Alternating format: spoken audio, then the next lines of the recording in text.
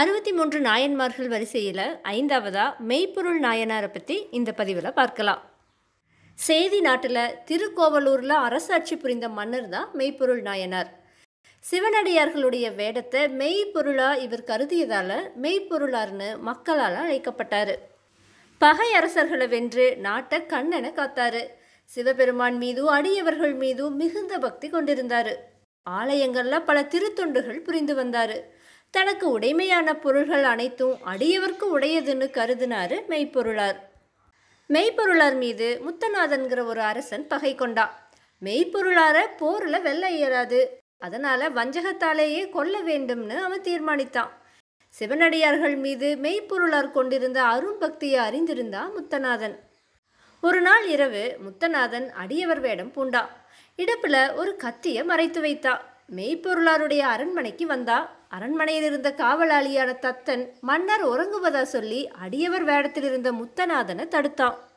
ஆனா முத்தநாதனோ காவலாளிக்கிட்ட நான் அரசருக்கு வேத பொருளை கூறும் பொருட்டு வந்துள்ளேன். என்னை தடுக்காதேன்னு தத்தனை விலக்கிவிட்டு அரண்மனைக்குள்ள நுழைஞ்சா. அப்ப மெய்ப்பொருளார் கட்டில்ல உறங்கி கொண்டிருந்தாரு. அவருக்கு பக்கத்துல அரசியார் அமர்ந்து மன்னருக்கு விசிறி கொண்டிருந்தாங்க. அடியவரை கண்ட அரசியார் மெய்ப்பொருளார எழுப்புனாங்க. மெய்ப்பொருளாரும் விழித்து அடியவரை கண்டதும் எழுந்து வணங்கினாரு. அடியவரே இந்நேரத்தில் என்னை காண வந்ததன் காரணம் என்னவோன்னு கேட்டாரு. உடனே அடியவர் வேடத்தில் இருந்த முத்தநாதன் மெய்ப்பொருளாரே இறைவனார் என்னிடம் ஆகம பொருள் ஒன்றை கூறினார். அதை நான் ஓலையில் குறித்து வைத்துள்ளேன். அதை தங்களுக்கு உரைத்திடவே வந்துள்ளேன்னு நயமா பேசினா. இதை கேட்ட மெய்ப்பொருளாரோ சிவ ஆகமத்தை கேட்பது நான் செய்த பாக்கியமன்றோ? உடனே அதை என்னிடம் படித்து காட்டுவீராகன்னு சொன்னாரு. உடனே அடியவர் வேடத்தில் இருந்த முத்தநாதன் நான் ஆகமத்தை படிக்கையில் உன் மனைவியார் அருகில் இருக்கக்கூடாதுன்னு சொன்னான். அதை கேட்ட நாயனார் தன்னுடைய மனைவியை அந்த இடத்தை விட்டு போய்விடுமாறு சொன்னாரு. அடியவர் வேடத்தில் இருந்த முத்தநாதன் இதுதான் தக்க நேரம்னு தன்னுடைய இடுப்பில் இருந்த ஓலையை எடுப்பது போல கத்தியை எடுத்து மெய்ப்பொருளார குத்துனா தான் குத்துப்பட்ட நிலையிலும் மெய்ப்பொருளார் அடியவர் வேடத்தில் இருந்த முத்தநாதனை வணங்கியபடியே சாய்ந்தாரு.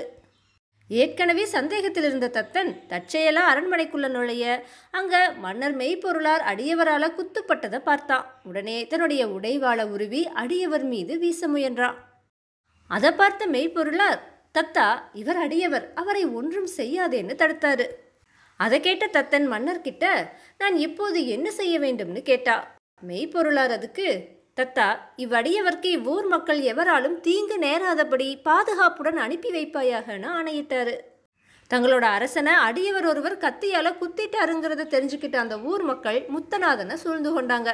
ஆனா தத்தனோ அவங்கள தடுத்து மன்னருடைய ஆணைய அவங்க கிட்ட சொன்னான் அடியவர் வேடத்தில் இருந்த முத்தநாதனை நகருக்கு எல்லையில கொண்டு போய் விட்டுட்டு அரண்மனைக்கு திரும்பி மெய்ப்பொருளாருக்கு செய்தியை அறிவித்தான். அதுவரைக்கும் உயிர் பிரியாதிருந்த மெய்ப்பொருளார் அதை கேட்டுட்டு அடியவரை காத்த தத்தனுக்கு நன்றி சொன்னார். அரண்மனையில் இருந்தவர்கள் கிட்ட அடியவர் திருத்தொண்ட வழுவாது செய்யும்படி கட்டளையிட்டாரு. சிவனை சிந்தித்தாரு. அந்த கணத்திலேயே சிவபெருமானும் நாயனாருக்கு திருக்காட்சி கொடுத்தாரு. மெய்ப்பொருள் நாயனார சிவபதம் சேர்த்தாரு.